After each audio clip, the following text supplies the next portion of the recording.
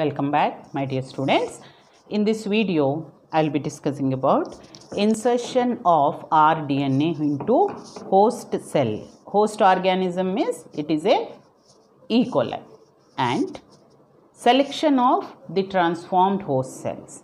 Once the host cells are say uh, once the uh, organism is inserted then the host cells are transformed then there are methods to select transformed host cell so we will just see how the in how the host cell can be made or how the ins, uh, rDNA can be inserted inserted into the host cell so this is done by using a the uh, insertion is done by taking one particular gene of interest. Say suppose we take one gene of interest like any any gene any foreign gene it is inserted into first into the vector and then into the host. So first to obtain suppose we we are taking an example of say BAM H1 BAM H1 this is a restriction enzyme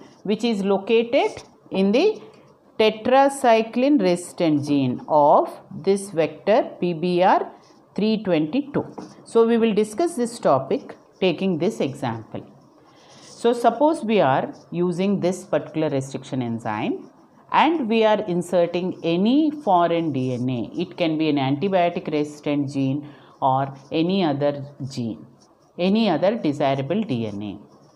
So, when we are using this enzyme BAM H1, then this tetracycline resistant gene is lost because this is present in tetracycline resistant gene and in its place in its place we get a desirable DNA. So, this how we can give. Suppose we are using BAM H1 plus we are taking a PBR 322 we are taking PBR 322 plus any foreign DNA or desirable DNA foreign DNA or a desirable DNA so BAM H1 will cut that particular point where there is a tetracycline resistant gene. For your uh, information I can give you the diagram beside so here we find tetracycline resistant gene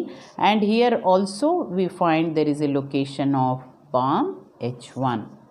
So suppose we are doing using this, this gene will be lost. On the other side opposite we find here ampicillin resistant gene. Now foreign DNA plus PBR322 which is a vector and BAM H1. Suppose we mix these three. What is the result obtained? So here when foreign DNA and this is mixed and what else is added? We can also add the enzyme ligase because the foreign DNA and PBR322 must join. And where should foreign DNA must join if BAM H1 is used? In tetracycline resistant gene. So when we mix this there are two possibilities. There are two possibilities so, what are the two possibilities?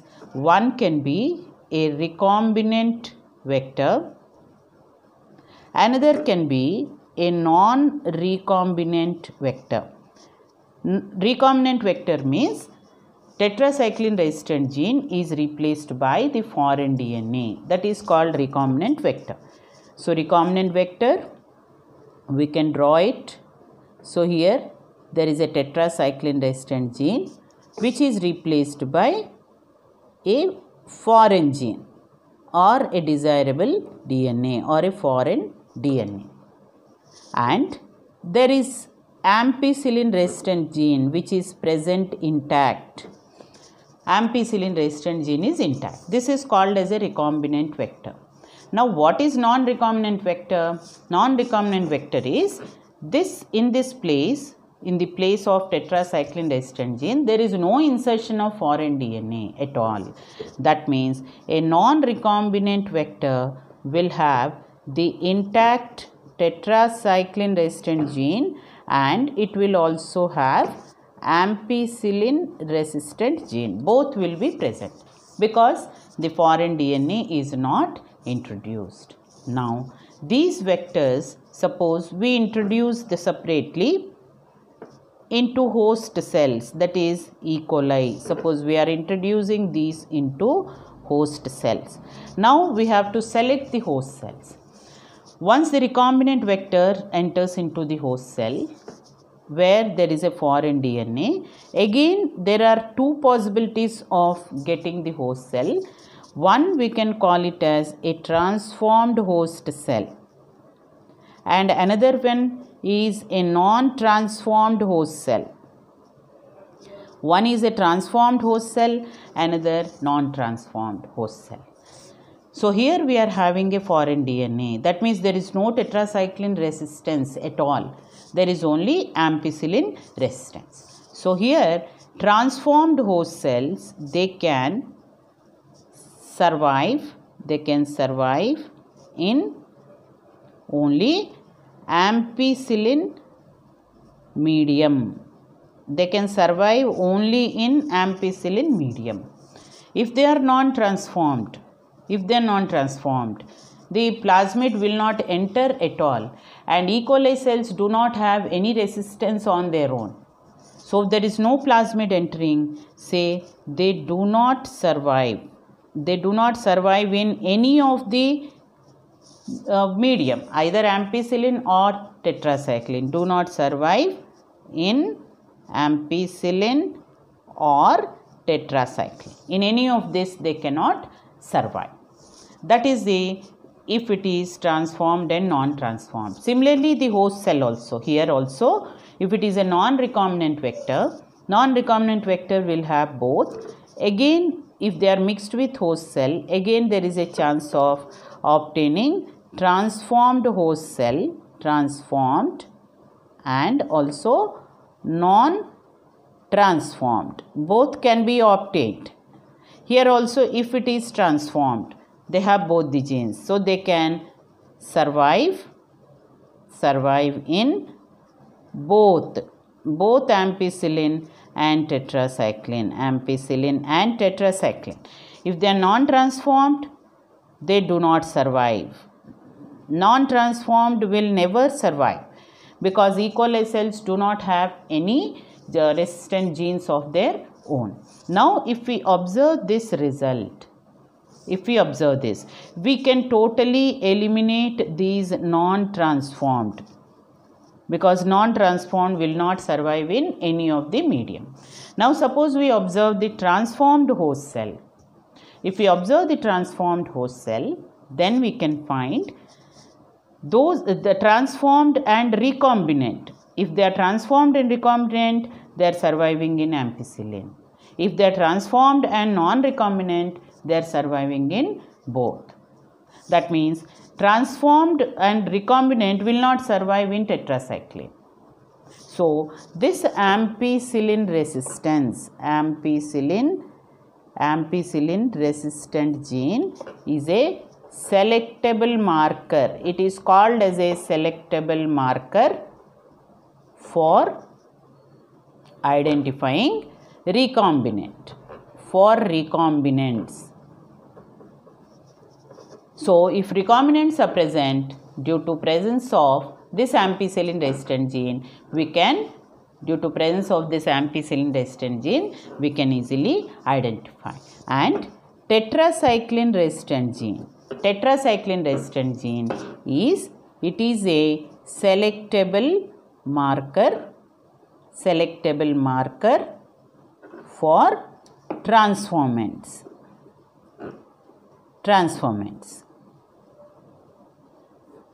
So, if tetracycline resistance is present, that means they have undergone event transformation also. But only ampicillin, if they are surviving, that means they are recombinants. So, in this way, we can separate recombinant cells and also transformed host cell.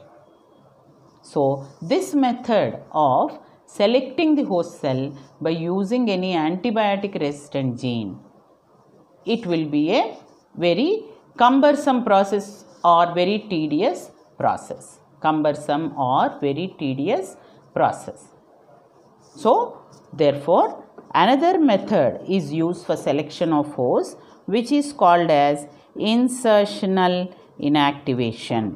It is called as insertional inactivation. It is done by using LAC-Z gene. This is done by using a LAC-Z gene. LAC-Z gene will produce an enzyme called beta galactosidase. Beta galactosidase. So we know in lacoperon, this enzyme will break down lactose into glucose and galactose. Besides this, besides this, this also gives color to the bacterial colonies, also gives color also gives color to the bacterial colonies. So, bacterial colonies where this gene is present, they appear as blue in color. So, therefore, a plasmid containing a plasmid containing LAC-Z gene is constructed. All plasmids you know are restructured plasmids. So plasmids containing LAC-Z gene is constructed. Now this uh, into this region coding region of Z gene any desirable DNA or a foreign DNA is added so when foreign DNA is inserted into this, say we get a recombinant vector. So this recombinant vector when mixed with the host cell, after transformation, all the bacterial colonies now colonies will appear white in color because they lose the LAC-Z gene. So these will appear white color. So that's how we can distinguish recombinants and non-recombinants. Non-recombinants will be blue colored. Non-recombinant, suppose there is a non-recombinant vector present, then the colonies will appear as blue. So thus by a simple process we can easily identify or distinguish recombinant and non-recombinant. And this method is called as insertional inactivation. So, this is how after the rDNA is inserted into the host cell, we can make selection of the host cell. Now, suppose the host cell is carrying another example we can consider.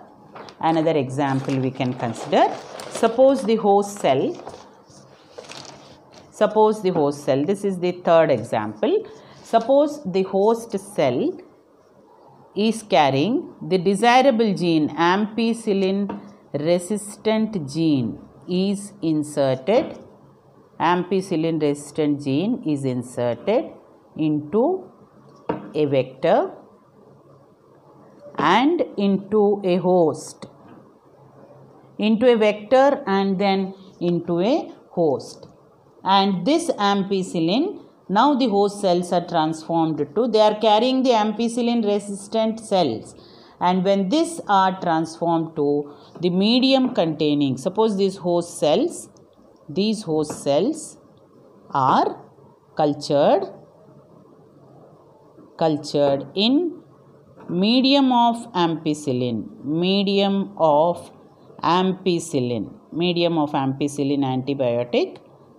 Then what will happen? The host cells will survive. Host cells will survive.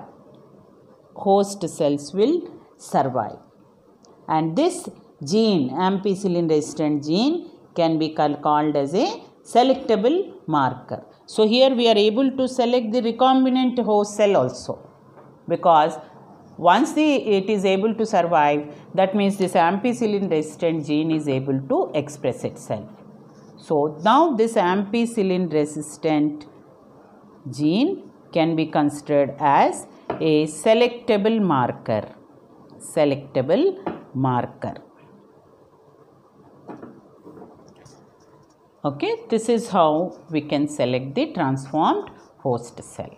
So with this children, here I will stop so that you try to understand. I'm trying to make a short videos.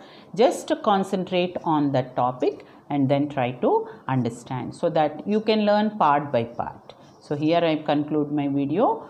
And in my next video i will i'm going to express i'm going to explain what is the meaning of a competent host and what are different types of hosts which can be used for the cloning of a vector or for cloning of a specific gene. So i conclude my video here. Thank you very much children by watching. And please share to the large number and ask them to subscribe so that more and more videos you are going to get. You are going to get updated about more and more videos. So thank you very much children